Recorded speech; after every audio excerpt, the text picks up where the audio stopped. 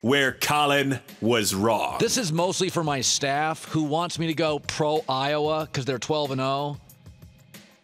I will say this they're plus four against Michigan State, and I think it'll be a close game. And Vegas thinks it'll be a close game. I think they'd get blown out tomorrow by Oklahoma. I think they'd get blown out tomorrow by Ohio State, but I think they match up well with Michigan State. Uh, and so I think they're vanilla, but they don't make any mistakes. And when you watch them play Nebraska, and Nebraska throws four picks, otherwise could win the game, there is some value to teams that know what they are and limit their mistakes. It's not really fun to watch, but, you know, they are 12 and 0.